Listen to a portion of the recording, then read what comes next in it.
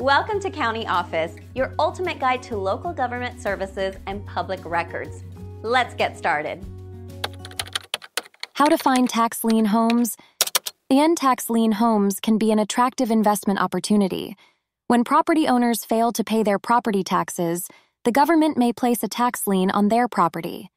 This lien gives the government the right to collect unpaid taxes, often through the sale of the property. To begin your search, visit your local county tax assessor's office. They maintain records of properties with tax liens. These records are usually public and can be accessed in person or online.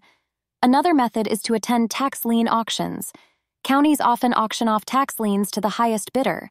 These auctions can be held in person or online, depending on the county's policies and then check county websites for auction schedules and procedures.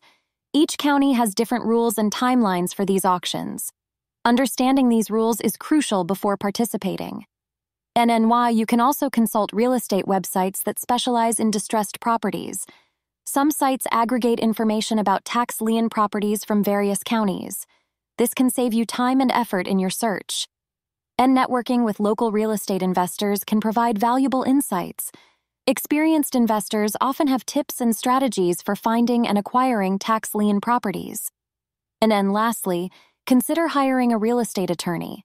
They can help navigate the complexities of purchasing tax lien properties and ensure that all legal requirements are met. Ain.